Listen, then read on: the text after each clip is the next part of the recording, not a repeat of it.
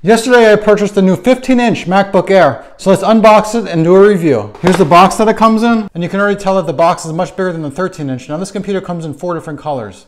I chose the dark color, I forget the name of it, but it's basically just like dark, almost a black, dark gray color. I upgraded to the 512 gigabytes of memory just because I used to have 256 and there were times where it wasn't enough. So this will definitely get the job done for me. I did already set up this computer last night, but then I put all the packaging back together so it looks like I'm unboxing it for the first time. The computer comes in the sleeve here. And then we get a MagSafe power cord, which is kind of cool because it's actually branded to the same color as the computer.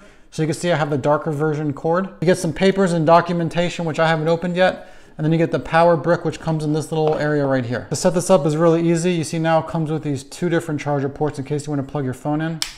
That goes down, and then this piece goes into here. It's just USB-C. And this is the MagSafe adapter, so it plugs in to your computer on the side, which I'll show you in a second. Now I'm gonna open up the computer, and I just looked this color up online. It's called Midnight. So this is the Midnight 15 inch MacBook Air. One of the things I saw people complaining about from other reviews is how your fingerprints are attracted to this type of finish. I do agree with that. It is kind of distracting, but it's not a big deal in my opinion. Let's open it up. You'll see I had some Billy Madison going on in the background before I was doing this review. And you can take a look at the computer and look how big this trackpad is. I really like that. It's um, much bigger than the one I had on the 13 inch. Let's plug in the charger. Years ago, the MacBook Airs came with this MagSafe charger and then they just suddenly stopped doing it. Uh, I'm not sure why, I guess to save money or something.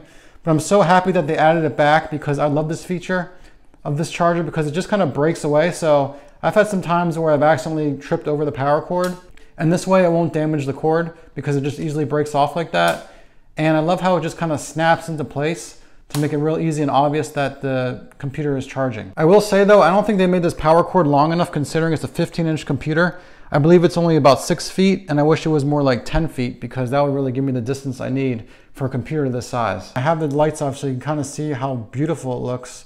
The way that the keys are lit up, it makes it real easy to see in the dark. It has a touch ID button right here that will scan your fingerprint and let you turn on your computer and buy things with your computer. On the side it has power adapter port, as well as two USB-C connections for external hard drives. On the other side, it's real simple. It just has one headphone jack. Here's what the bottom of the computer looks like, and I really like how simple it is with these four feet, if you will, that just kind of support the computer up and I guess keep it cooler underneath. One thing to keep in mind when you're choosing your MacBook Air is that the 15 inch model is 3.3 pounds and the 13 inch model is 2.7 pounds. It may not seem like a big difference, but when you feel the larger one, the 15 inch, you can actually tell it is a bit of a difference and it adds quite a bit of weight to your computer. And this is how much it costs for my version, but I traded in my old MacBook, so it was a bit cheaper. Here's a better look at the four colors you can choose from. This is the one I have right here. I don't know a lot about all the tech specs. I guess M2 is the new chip and it's fast. Comes with eight gigabyte of RAM, but you can upgrade that if you need to. 256 or 512 gigabytes of memory, or you can upgrade even higher. It actually has six speakers in this thing. No wonder why it sounds so good. This is crazy. Look at this. 18 hours of battery life on this thing. After spending just a little time with this computer, I could say I really like it. It's a big improvement over the 13 inch that I had.